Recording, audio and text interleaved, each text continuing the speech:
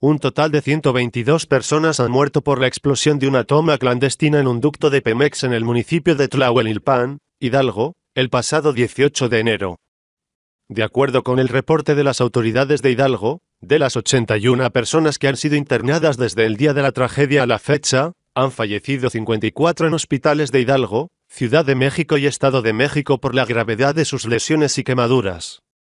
Durante el incidente fallecieron 68 personas, y se han recopilado 16 restos humanos, mismos que han sido analizados, identificados y entregados a sus familiares por la Procuraduría de Justicia de Hidalgo. Hasta la fecha se han presentado dos altas de pacientes y 25 permanecen en atención médica.